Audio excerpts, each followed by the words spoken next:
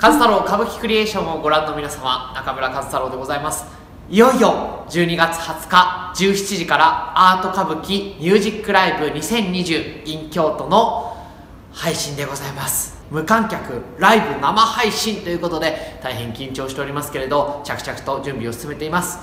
今日はそんなミュージックライブの中で最初にお送りするアート道場寺の解説をしていきたいと思います。皆さん道成寺というもの知っていらっしゃるでしょうか？これは能の作品としてとても有名でその能から歌舞伎も着想を得てさまざまな道成寺の演目が生まれています。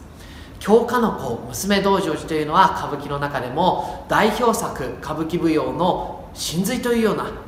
ものとなっています。アート道成寺は能の道成寺やさまざまある道成寺物からヒントを得まして、えー、作っているんですがじゃあ一体その道成寺物っていう道成寺って何なんだということになると思うのでその道成寺についてちょっと簡単に解説していこうと思います、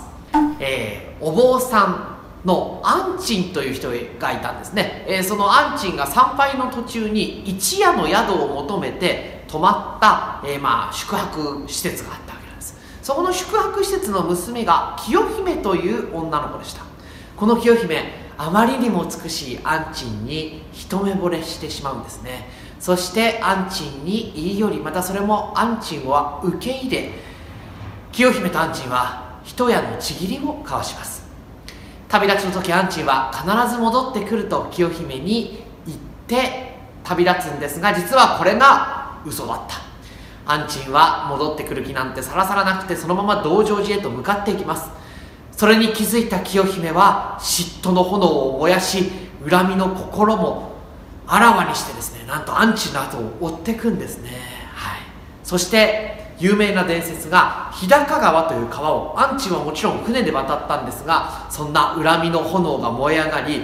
清姫は蛇体となってその川を泳いで渡っていったという伝説があります。そして道成寺で安珍に追いつくんですね。安珍は恐れて金の中に身を潜めていたんですがその身を潜めていた金ごと蛇体となった清姫がその金に巻きついて焼き尽くして安珍を殺してしまったと。そんな伝説がある。これが世に言う道成寺伝説。そんな清姫の恋心。そして安珍に対する恨みまた嫉妬心を描いたのが道成寺の作品。今回はそういったところを私、えー、清姫になってアート道場寺として新しい形で上演させていただきます。今回のアート道場寺は6つに区分されるんですね、え最初の曲は神前ということで、えまさに、え、こここれから千龍寺さんで踊りが披露される奉納されますよといった雰囲気を、え作ります。そして M2 は乱拍子ということになります。この乱拍子というのは能の道場寺でも真髄と言われる、まあ、一つの型段組になっていて、まあ、とても単調な音の連続なんですがそこに息を飲むような間合いがあったりまた皆さんを集中させる何て言うんでしょうこの気迫がこもったそんな場面になります。今回はアート道場寺風にいろんな音を使って乱拍子を表現します。その後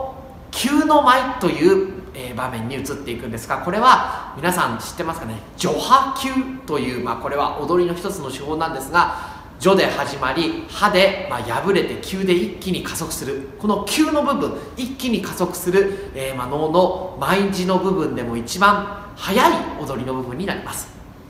そして M4 は私、蛇体の声という名前を付けたんですが、これは、えー、中井智也さんのことが、で作曲していただいた曲でございます。えー、そこにいろんな音が組み込んでいくんですけれど、まあ、ある意味これはまさに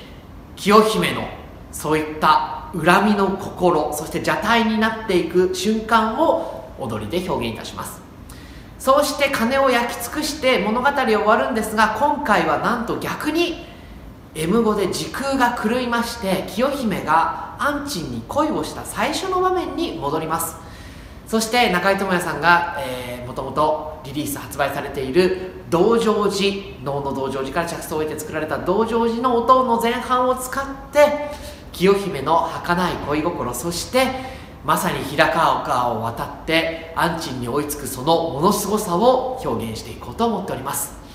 えー皆さん、えーアート歌舞伎ミュージックライブ中は生配信ということもあってこういった詳しい解説はできないと思うので先にこれで実際に道場上を知っていただいて12月20日アート歌舞伎ミュージックライブ 2020in 京都に備えていただけたらと思います。